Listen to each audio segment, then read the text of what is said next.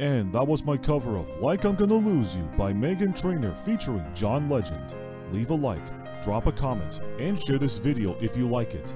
Subscribe to my channels, such as YouTube and more, linked in the description below. And turn on notifications for upcoming new videos.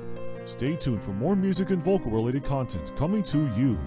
Piano covers and originals every two Saturdays. Vocal covers and originals every month or less. And original songs every month or less.